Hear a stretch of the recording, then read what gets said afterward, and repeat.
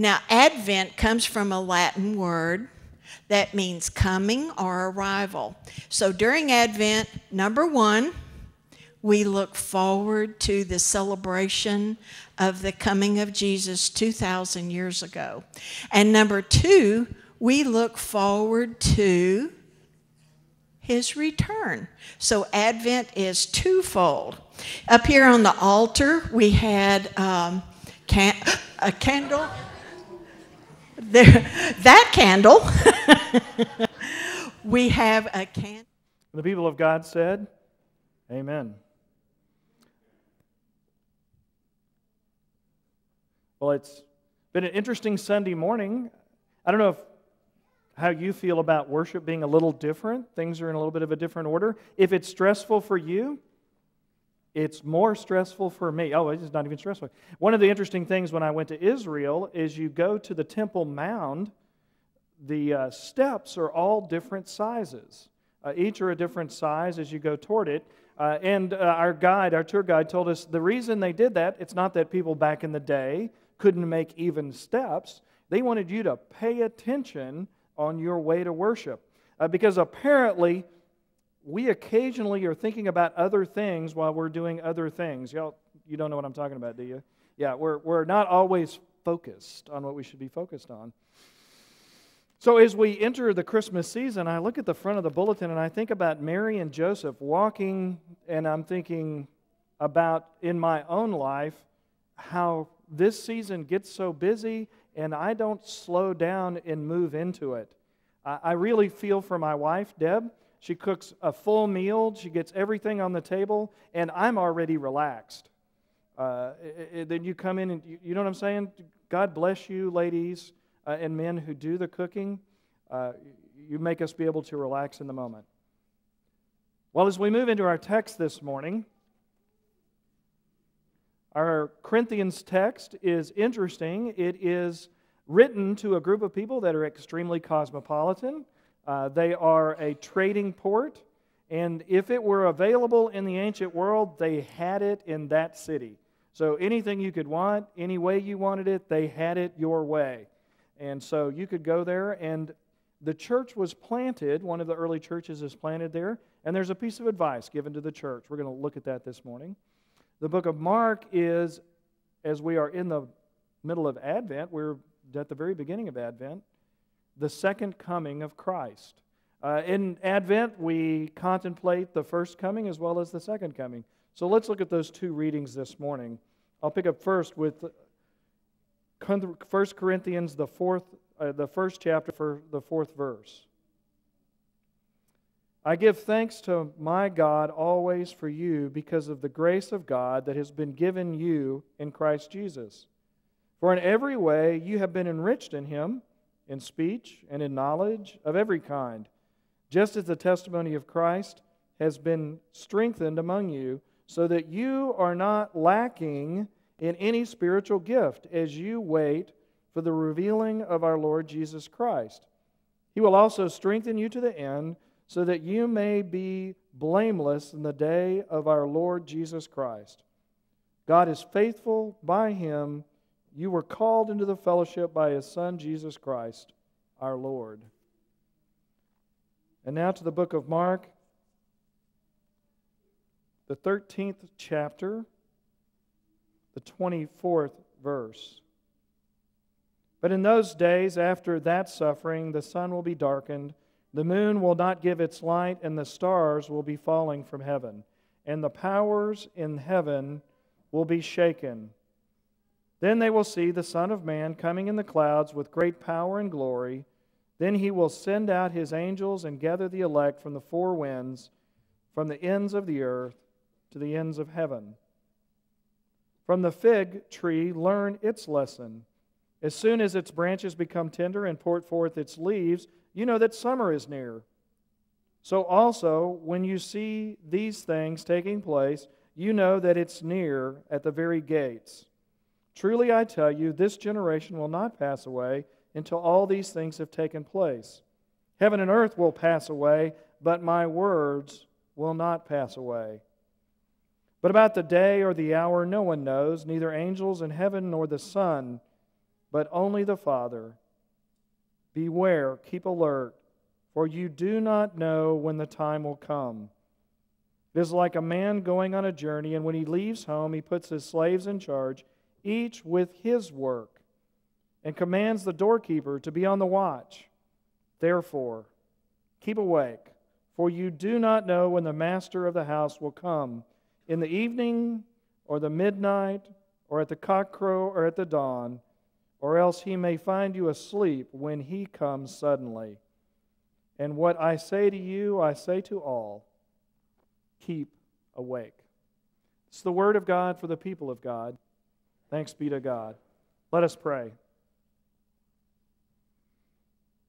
Most gracious Heavenly Father, may the meditations of my mind, the words of my mouth be holy and pleasing unto you. Amen. The Corinthians text says something interesting.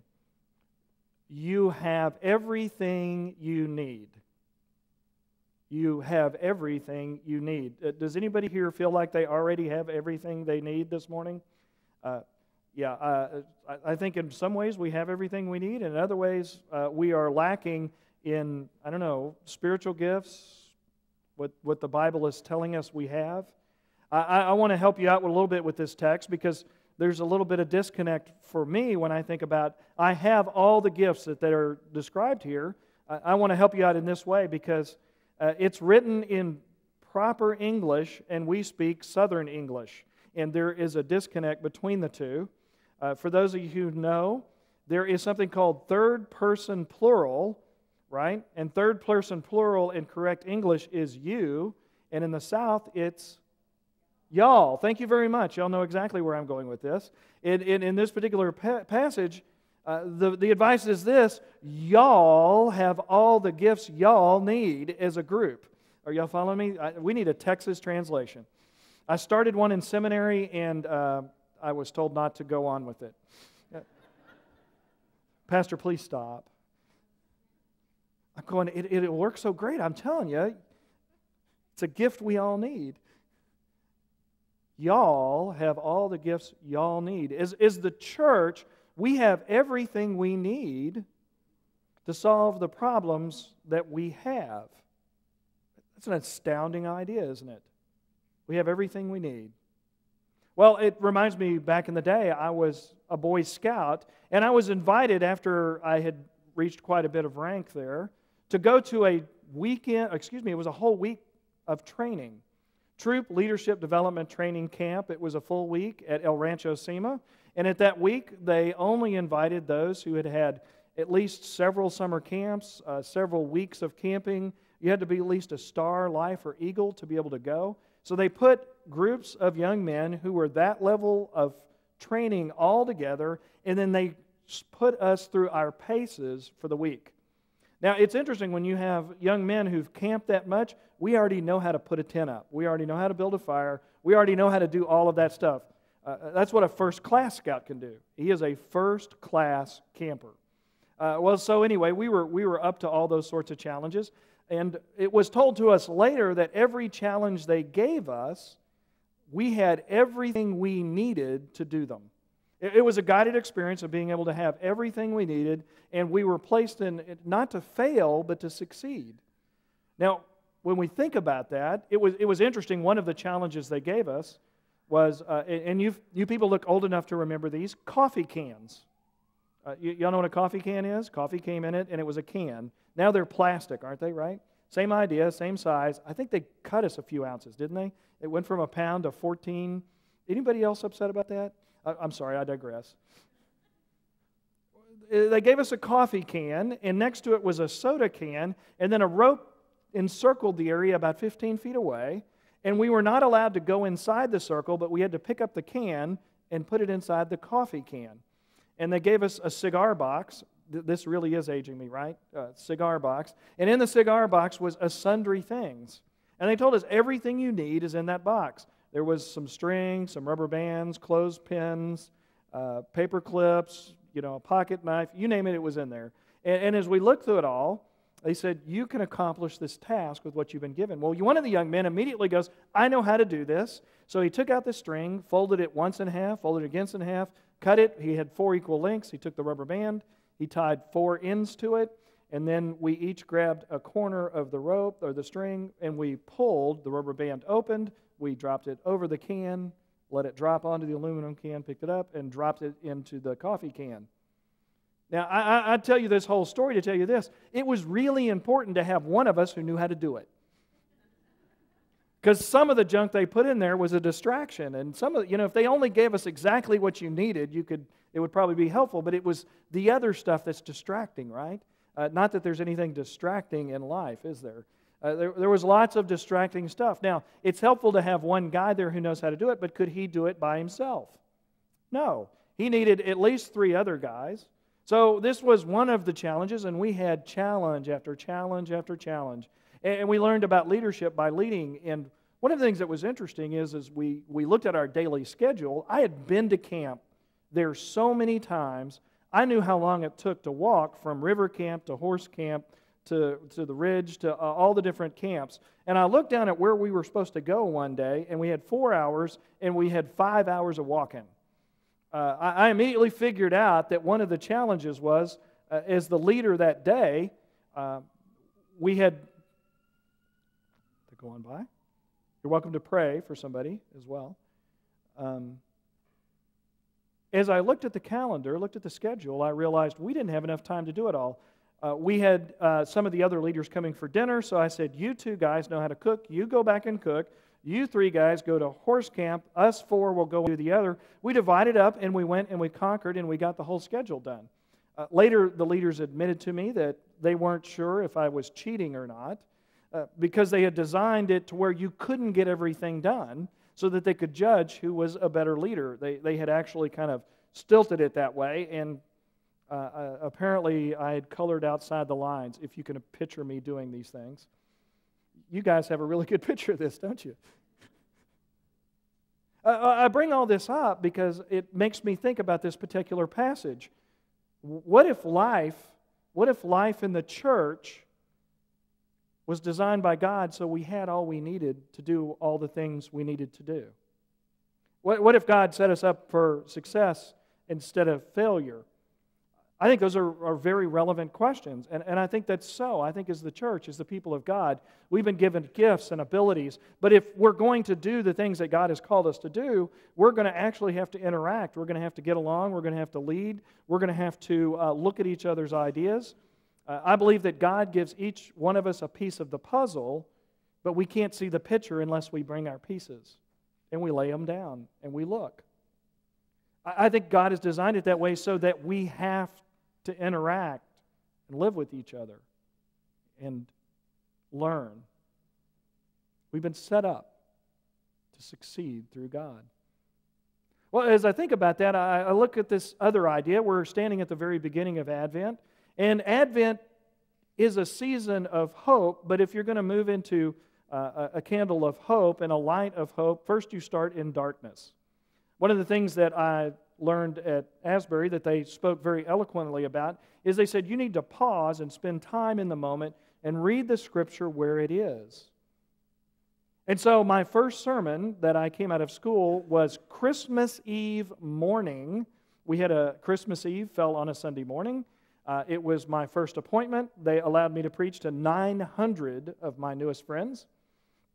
Uh, my goal that morning was to not throw up and to not fall off the pulpit. They had a really tall one, so those, and I did not do either of those.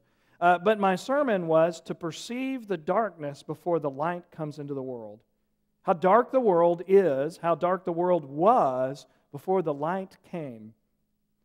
As such, it's that way today as well before the second coming. The reason we cry out for God, the reason we look for God to come again, is because we look around and we go, the world is a broken place. There are hurting people. The ground is shifting, and we're not altogether pleased with it. And it's a good thing to realize that.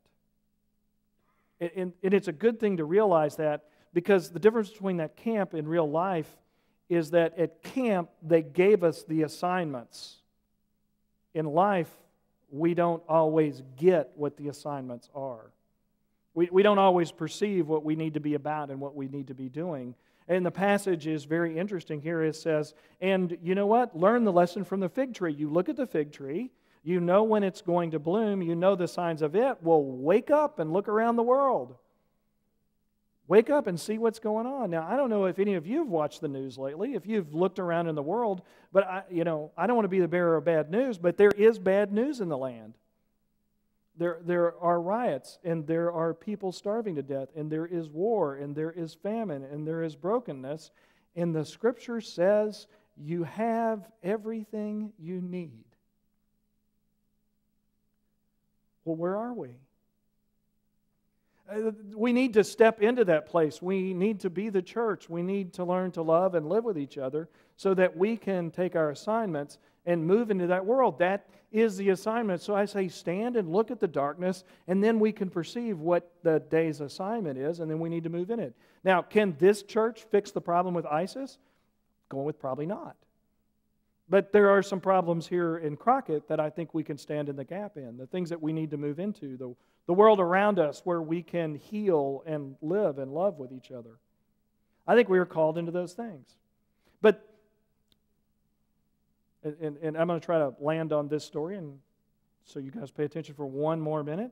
One of the problems we have as the church is occasionally we don't all get along. I know that's stunning and, and one of the problems is, is, uh, is we are occasionally judgmental as humans. I know y'all aren't, but I am, so I'll just go on about me, and if you fit into this, you just pick it up. But we're judgmental because we look around and we go, well, why isn't him doing what I'm doing? Why isn't he doing the same things I'm doing? In fact, we look around and we go, well, I know what my job is, but the other people ought to be doing the same job I am. And I'll, I'll give you a, a good example of it. Back in my days at Kingwood, and we led men's ministry, one of the things that came out of that, as we led it, was that we had men that were along the continuum of discipleship. We had some that were outside the church. We had some that had just come into the church. We had some that could translate Revelation in the Greek. Uh, we had people all along the discipleship continuum. Now, I will tell you this. We had some leaders, and I'll give you one of their names. Purvis, lovely, wonderful, great man. He was great at leading leaders very spiritual man, but you did not want him near new Christians.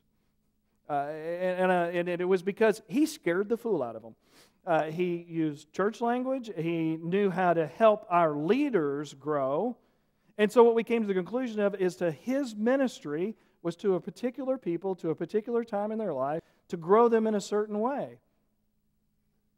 And that was the place to put him. And for John, he was great at reaching those who were far from God. And in fact, I witnessed him with the lost, sitting and praying with people who I know hadn't prayed in a long time. He was able to reach them. Each of us have our place in the kingdom. The problem was when we all got together as a group, one thought we should have a men's ministry that was deep, and we had another group that said we need to have a men's ministry that is wide. And my answer was yes. Uh, as, as I answered to the group back in the day, I need a group to go and fix breakfast. I need a group to go to horse camp, and we need a group to go. You see, in the church, we've equipped and we have all that we need. Unfortunately, we spend a little too much time arguing with each other as to what the other ought to be doing that looks like what we're doing. You don't have to say amen yet. Uh, my, my witness to you this morning is we each have a job. We each need to be awake. We need to be looking and seeing where God will put us. And we are longing for God to come again. We, we are longing for Him to come and work in our world. For the only work that we can do, the only work that lasts, is the work that we do with Christ. The work that we do in this world of healing through Him. So, as we step into communion this morning, we take communion with this understanding that it is Christ in us, working in the world to complete the job he gave us. name of the Father, and the Son, and the Holy Spirit. Amen.